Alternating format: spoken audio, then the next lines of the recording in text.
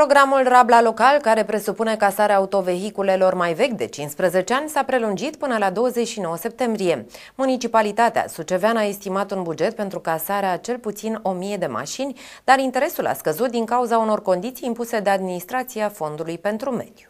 Mai întâi, lista definitivă este întocmită de Administrația Fondului pentru Mediu, după care aceasta este trimisă primăriilor. Un lucru care mă întreabă cetățenii pe Facebook, cu acest program Rabla Local, da, s-a prelungit casarea autovehiculelor uzate Rabla Local până la data de 29 septembrie 2023 sau până la impozitarea bugetului. Din păcate, spun, noi am estimat pe mii de mașini, deocamdată sunt înscrise la Suceava, la municipiu, 385 de persoane.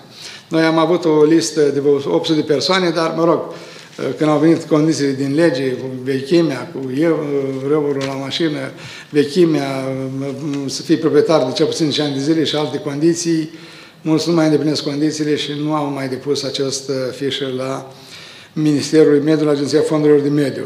Noi așteptăm, sigur, data de 29 septembrie să îmi trimită oficial cei de la Agenția Fondurilor de Mediu câte solicitări sunt pentru municipiul Suceava, după care să băgăm în procedura internă a primăriei.